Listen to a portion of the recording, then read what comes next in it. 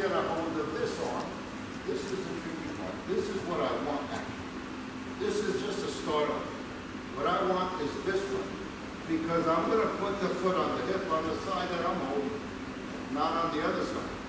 And then I pull guard, and I have to watch out for him not to, uh, dominate or hold the other leg. So you, pull, pull, close.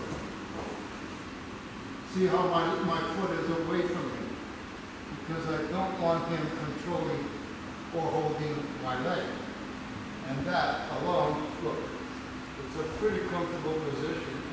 My foot is gonna go on his bicep, on the other side. I got the arm now in, in control.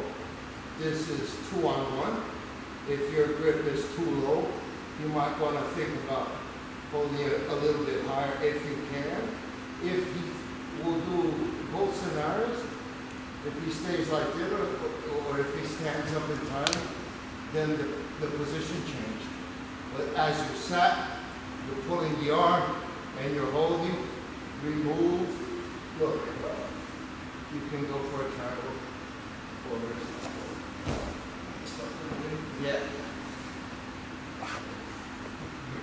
Right? We're here.